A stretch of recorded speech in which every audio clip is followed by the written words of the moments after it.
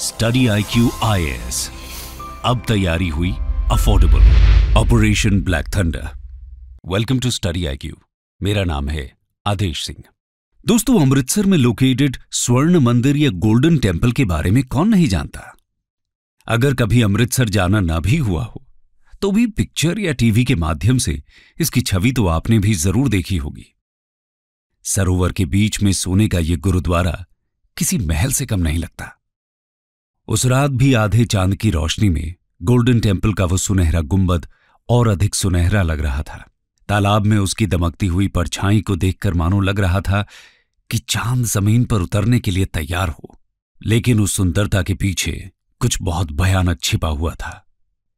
Golden temple की परिक्रमा कक्ष के चारों ओर कुछ कांच के टुकड़े फैले हुए थे और उजाड़ सी शांति उन कांच के टुकड़ों से टकराकर चारों ओर नाच रही थी।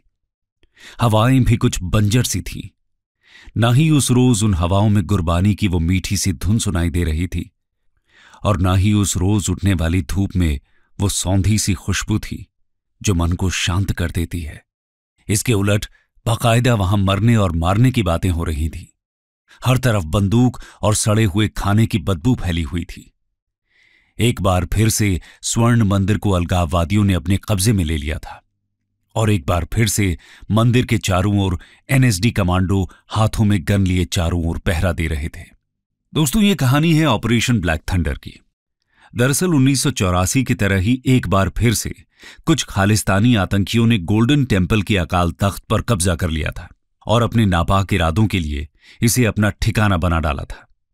और जिस तरह उस स्थिति से निपटने के लिए इंडियन गवर्नमेंट द्वारा ऑपरेशन ब्लू स्टार लॉन्च किया गया था उसी तरह इस बार प्लान किया गया ऑपरेशन ब्लैक थंडर।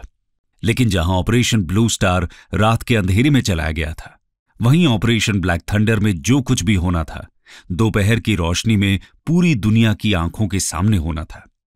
इसके साथ ही जहाँ ऑपरेशन ब्लू स्टार को एक बार में ही पूरा कर लिया गया था, वहीं ऑपरेशन ब्लैक थंडर को दो पार्ट में पूरा किया गया था।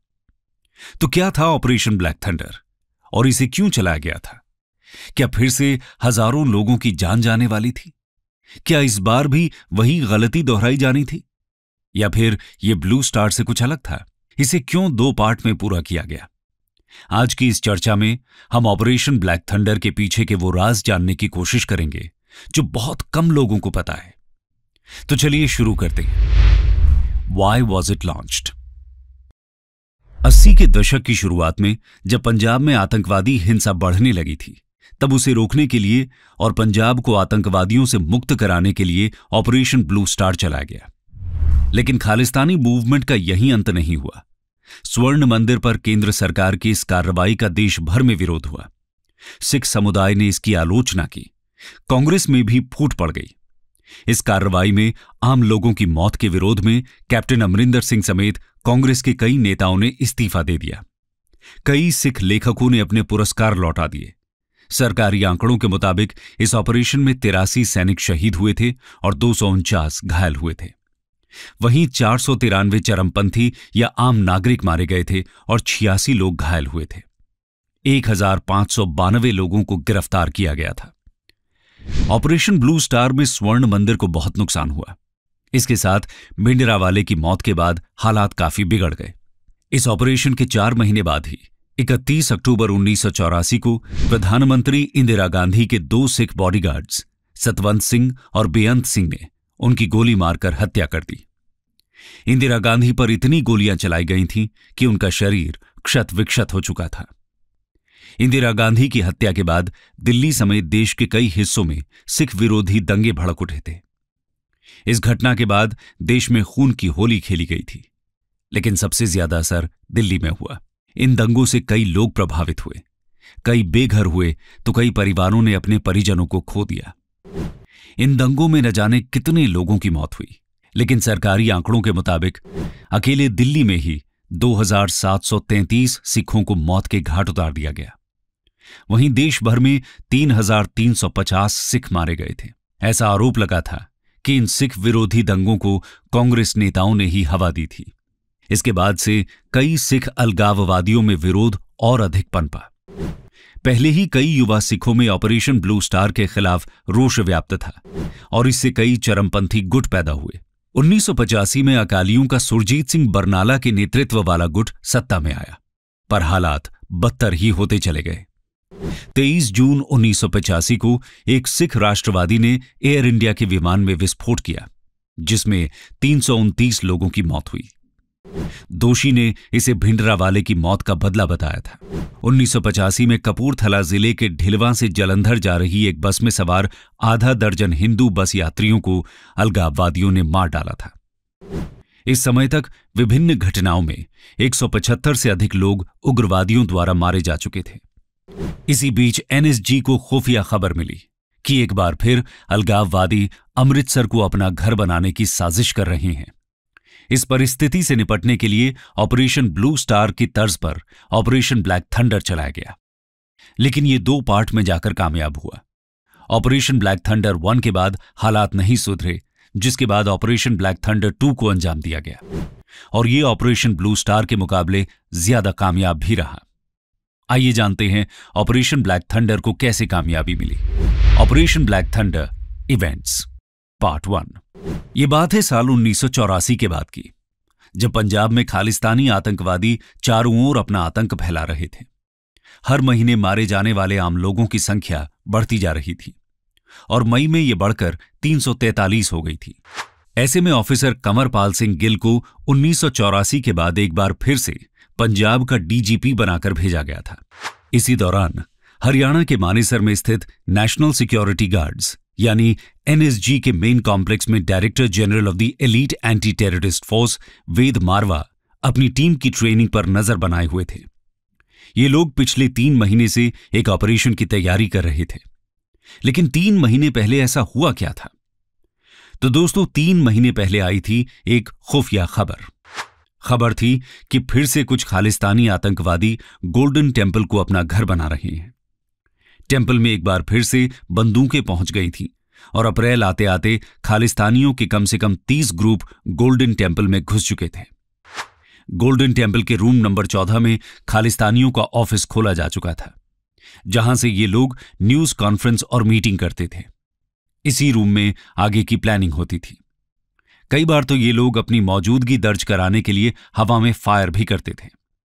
सिक्योरिटी फोर्सेस के लिए यह सब कुछ जाना पहचाना था। इतिहास एक बार फिर से अपने को दोहरा रहा था। कुछ ऐसा ही घटनाक्रम साल उन्नीस सौ चौरासी में भी हुआ था, जब भिंडरा वाले और उसके कट्टरपंथी साथियों ने स्वर्ण मंदिर को अपना घर बना लिया था। इधर जिस वक्त मानेसर में एनएसजी अपनी ट्रेनिंग कर रही थी, उसी वक्त आईबी भी अपने काम में लगी हुई थी। ऑपरेशन की तैयारी जोरों पर थी। एनएसजी से लेकर आईबी सेल ऑपरेशन पर नज़र बनाए हुए थे। आईबी द्वारा टेंपल के अंदर कुछ ए के फोर्टी सेवन राइफल्स भेजी गईं। ये बंदूकें जसबिंदर रोड़े तक पहुंचाई गई थी। रोड़े को उसी महीने मंदिर का जत्थेदार बनाया गया था। आतंकी इस बात से अनजान थे कि रोड़े असल में आईबी का मुखबिर था। जसबिंदर रोड़े पर अलगाववादियों को भरोसा था। भरोसे की सबसे बड़ी वजह यह थी कि वह जर्नैल सिंह भिंडरा वाले का भतीजा था। रोड़े के साथ पंद्रह लोग और भी थे, जो आतंकियों को अंदर ही अंदर खोखला कर रहे थे। इन पंद्रह लोगों में वर्तमान एनएसए अजीत डोभाल भी शामिल थे। उनतीस अप्रैल उन्नीस सौ छियासी को खालिस्तानी अलगाववादियों ने खालिस्तान नाम के नए देश की घोषणा कर दी और 30 अप्रैल उन्नीस सौ छियासी को ऑपरेशन ब्लैक थंडर के पहले पार्ट को अंजाम दिया गया। उस वक्त लगभग 300 एनएसजी कमांडोज ने बीएसएफ के 700 सैनिकों के साथ मिलकर मंदिर पर धावा बोल दिया और लगभग 200 सिख अलगाववादियों को गिरफ़्तार किया गया। इस पूरे ऑपरेशन के दौरान एक व्यक्ति की मौत हो गई और दो घायल हो गए। कमाल की बात यह थी कि इस दौरान टेंपल के सिर्फ़ 300 यार्ड के दायरे में कर्फ्यू लगा था। बाकी पूरे शहर में सब कुछ नॉर्मल था। किसी तरह की कोई रोक टोक नहीं थी। आठ घंटे तक चले इस ऑपरेशन को, पंजाब के तत्कालीन मुख्यमंत्री सुरजीत सिंह बरनाला ने मंजूरी दी थी। ऑपरेशन को नरमपंथी सिख नेताओं का पूरा समर्थन मिला और कई नेताओं ने आतंकवादियों, अलगाववादियों और धर्म विरोधी तत्वों को खदेड़ने के लिए पुलिस की इस कार्रवाई की प्रशंसा भी की। पंजाब को एक बार फिर अलगाववादियों के खतरनाक मंसूबों से बचा लिया गया था। लेकिन इसके बाद भी पंजाब में शांति कायम नहीं हुई। अभी भी यहाँ अलगाववादियों की गतिविधियाँ बनी हुई थी, जिससे निपटने के लिए ऑपरेशन का पार्ट टू लॉन्च किया गया। यह कब और कैसे हुआ, आइए जानते हैं। Part two. दोस्तों, operation black thunder part one के खत्म होने के बाद भी पंजाब अलगाववादियों के चंगुल से आज़ाद नहीं हो पाया था। Operation black thunder part one के बाद अलगाववादी और अधिक हिंसा पर उतर आए थे। 10 अगस्त 1986 को पूर्व army chief general A S Vaidya की दो बाइक सवार बदमाशों ने हत्या कर दी। वैद्य ने ऑपरेशन ब्लू स्टार को लीड किया था। इस वारदात की ज़िम्मेदारी खालिस्तान कमांडो फोर्स नाम के एक संगठन ने ली। पहले जूलियस रिबेरो और फिर केपीएस गिल के पुलिस प्रमुख बनने के बाद ही पुलिस के गिरते मनोबल में कुछ सुधार हुआ। लेकिन इसी के साथ पुलिस की कथित ज्यादतियों का दौर भी शुरू हुआ। साल 1988 से सेना, अर्धसैनिक बलों और पुलिस के संयुक्त अभियान के तहत अनेक युवाओं की धरपकड़ तेज हो गई। हालाँकि पुलिस के इतना चौकन्ना रहने के बाद भी अलगाववादियों का स्वर्ण मंदिर में आना जाना लगा ही हुआ था। 9 मई 1988 को इस घटनाक्रम में बड़ा फेर बदल आया। यह तीसरी बार था जब गोल्डन टेंपल अलगाववादियों के कब्जे में था। इस बार भी भारत सरकार और केपीएस गिल मिलकर खालिस्तानियों का खात्मा करने के लिए तैयार थे। 1986 का Operation Black Thunder part one छोटा था, लेकिन इसका पार्ट टू बड़ा साबित होने वाला था। दुनिया भर के पत्रकार इस घटनाक्रम को रिकॉर्ड करने के लिए वहाँ पहुँच चुके थे। इसलिए सरकार कोई गलत कदम नहीं उठा सकती थी। वो उन्नीस सौ चौरासी की गलती को फिर से दोहराना नहीं चाहती थी। एनएसजी कमांडो को गोल्डन टेंपल के मेन कैंपस में न जाने की सख्त हिदायत दी गई थी। सबको डर था कि कहीं फिर से उन्नीस सौ चौरासी की गलती न हो जाए। 9 मई को दोपहर करीब एक बजे टेंपल के अंदर से गोली चलने की आवाज़ आई। गोली सीधा सीआरपीएफ के डीजी सरबजीत सिंह विर्क के जबड़े पर आकर लगी।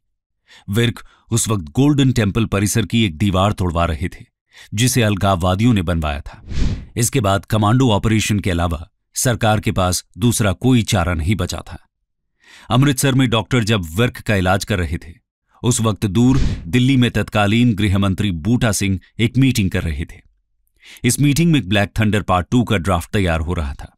इसके बाद ग्यारह और मीटिंग्स हुई, जिनमें से आठ में तो खुद तत्कालीन प्रधानमंत्री राजीव गांधी मौजूद थे। एक्शन प्लान के अनुसार टेंपल के आसपास की तेईस जगहों को निशाना लगाने के लिए चुना गया था।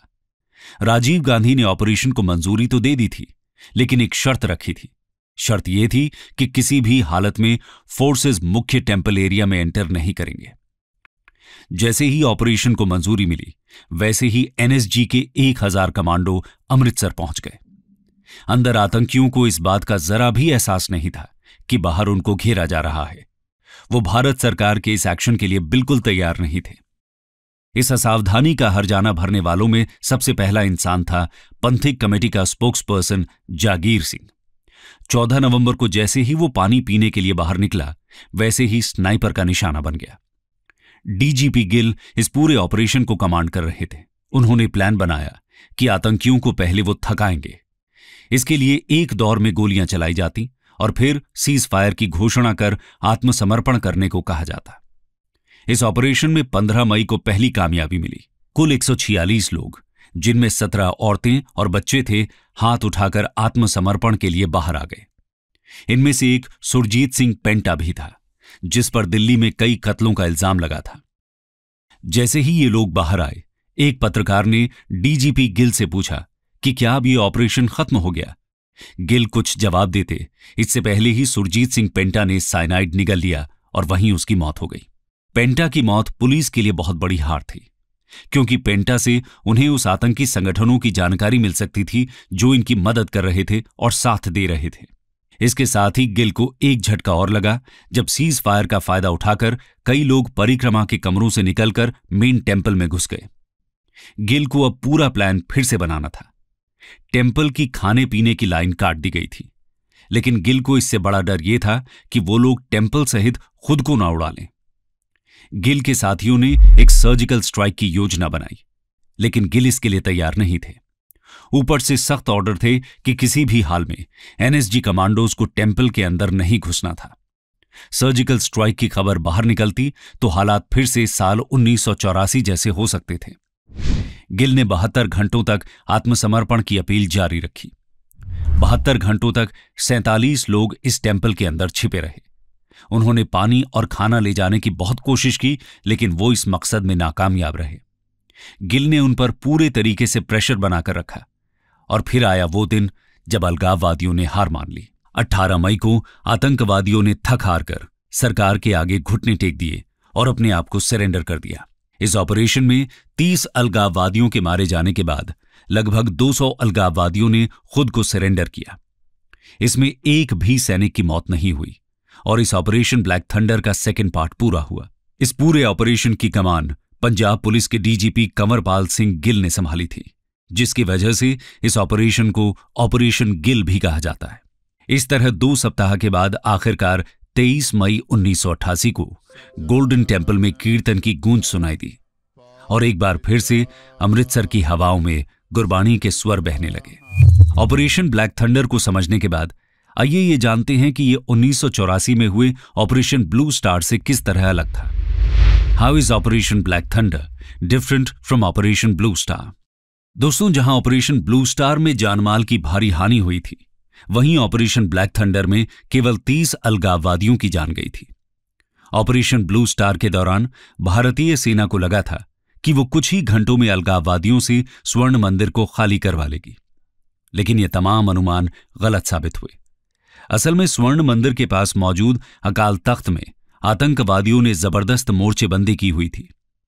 इस दौरान कई तरफ़ से गोलीबारी की जा रही थी, जिसकी वजह से सेना के जवान अकाल तख्त के करीब नहीं जा पा रहे थे, जिसके बाद आखिर में सेना ने सरकार से टैंकों के इस्तेमाल की इजाज़त मांगी और सरकार ने इस मांग को मंजूर कर लिया। उस समय टैंकों ने अकाल तख्त की तरफ़ करीब अस्सी गोले दागे थे। इस ऑपरेशन में जर्नैल सिंह भिंडरावाले समेत चार सौ तिरानवे लोग मारे गए थे। इसके अलावा इस ऑपरेशन के दौरान सेना के सत्तासी जवान शहीद हुए थे। नोट करने वाली बात यह है कि उस समय इस ऑपरेशन की वजह से भारतीय सेना के कुछ सिख जवानों ने भी सरकार के खिलाफ विद्रोह कर दिया था। इन सिख जवानों ने तब तत्कालीन प्रधानमंत्री इंदिरा गांधी और सेना के वरिष्ठ अधिकारियों के खिलाफ प्रदर्शन भी किए थे। इस ऑपरेशन से सरकार ने सबक ले लिया था और गलती न दोहराते हुए ऑपरेशन ब्लैक थंडर को अंजाम दिया गया था। इसके अलावा सरकार ने दोनों ही ऑपरेशंस को खालिस्तान अलगाववादियों के खात्मे के लिए ही लॉन्च किया था। लेकिन ऑपरेशन ब्लू स्टार के मुकाबले ऑपरेशन ब्लैक थंडर इसमें ज़्यादा कामयाब रहा। जहाँ ऑपरेशन ब्लू स्टार के बाद पंजाब में अलगाववाद और हिंसा की एक नई लहर देखी गई वहीं ऑपरेशन ब्लैक थंडर ने पंजाब में दीर्घकालीन शांति स्थापित की। ये ऑपरेशन अपेक्षाकृत रक्तहीन था। ग्रामीण पंजाब में चार साल पहले उठी ज़बरदस्त लहर के विपरीत इस बार कोई ज़्यादा हलचल नहीं हुई। न ही इस बार सिखों पर किसी अत्याचार की अफवाहें थी, क्योंकि ऑपरेशन को वर्ल्ड वाइड लेवल पर कवरेज किया गया था। और इसके साथ ही पहले के विपरीत बहुत कम एरिया की घेराबंदी की गई थी। इसके अलावा ब्लैक थंडर और ब्लू स्टार के बीच एक महत्वपूर्ण अंतर यह है कि मई उन्नीस सौ चौरासी के बाद से आतंकवादी प्रेरणा या अलगाववादी शक्ति को बढ़ावा देने के लिए भिंडरा वाले जैसा कोई व्यक्ति नहीं था। उनके पास अंत तक लड़ने के लिए और प्रेरित करने वाला कोई पावर नहीं था। और ये एक ऐसी सरकार का सामना कर रहे थे जिसने ब्लू स्टार के पाठों को आत्मसात करने में चार साल लगा दिए थे। इसके साथ ही ऑपरेशन ब्लू स्टार को भारतीय सेना द्वारा रात में किया गया था। उस वक्त सेना ने मेन गेट से ही एंट्री की थी, जिसकी वजह से भारी जनहानि का सामना करना पड़ा था। टेंपल में मौजूद लोगों ने पैदल सेना पर हमला कर दिया था, लेकिन इस बार ऑपरेशन ब्लैक थंडर को दिन के उजाले में करने का निर्णय लिया गया था। इस संदर्भ में एक अधिकारी कहते हैं यह सबसे अच्छा था कि दिन के उजाले में हम विरोधियों को साफ़ साफ़ देख सकते थे। आखिरकार हम उनसे कहीं बेहतर प्रशिक्षित थे। ऑपरेशन ब्लैक थंडर नाकाबंदी रणनीति के साथ कहीं अधिक सफल रहा। इसे सिख अलगाववादी आंदोलन की कमर तोड़ने का श्रेय दिया गया। इस ऑपरेशन के तुरंत बाद भारत सरकार ने राजनीतिक और सैन्य उद्देश्यों के लिए धार्मिक स्थलों के उपयोग पर प्रतिबंध लगा दिया और पंजाब क्षेत्र में उग्रवाद से लड़ने की अपनी रणनीति के तहत अवैध हथियारों के कब्जे और उपयोग के लिए दंड में वृद्धि की। कंक्लूजन दोस्तों, सरकार ने खालिस्तान मूवमेंट को रोकने के लिए ऑपरेशन ब्लू स्टार से लेकर ऑपरेशन ब्लैक थंडर तक चलाया। इन दोनों ही ऑपरेशन का मकसद खालिस्तान मूवमेंट को खत्म करना और पंजाब को जलने से बचाना था।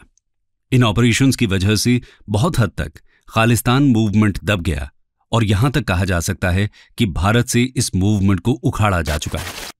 लेकिन एक बार फिर से, बाहरी शक्तियों जैसे पाकिस्तान, कनाडा और ब्रिटेन जैसे देशों के एक गुट द्वारा इसे सपोर्ट किया जा रहा है। आज भी इन देशों में इस मूवमेंट के समर्थकों की तादाद बनी हुई है। पाकिस्तान तो इस आंदोलन का बहुत पहले से ही समर्थक माना जाता रहा है। पिछले साल 6 जून 2022 को अमृतसर के स्वर्ण मंदिर परिसर में खालिस्तान समर्थक जमा हुए। इस दिन इन्होंने ऑपरेशन ब्लू स्टार की अड़तीसवीं बरसी मनाई। इस कार्यक्रम में खालिस्तान के समर्थन में नारे लगाए गए, साथ ही जर्नैल सिंह भिंडरावाले के पोस्टर भी लहराए गए। अमृतपाल सिंह जैसे कुछ खालिस्तानी नेता खालिस्तान आंदोलन को फिर से उठाने की प्लानिंग कर रहे हैं। इसी संदर्भ में पंजाब पुलिस अमृतपाल को लेकर सख्त कदम उठा रही है। बता दें कि इनका प्लान एक के बाद एक कई बड़े नेताओं की हत्या करने का था। नेताओं में पंजाब के पूर्व सीएम प्रकाश सिंह बादल, उनके बेटे सुखबीर सिंह और बीजेपी के कुछ नेताओं का नाम शामिल है। दोस्तों, आपको क्या लगता है? कि खालिस्तान मूवमेंट फिर से उठ सकता है? और क्या यह तरीका सही है? हाँ या ना में अपनी राय हमें कमेंट सेक्शन में ज़रूर दें। स्टडी आई क्यू आई अब तैयारी हुई अफोर्डेबल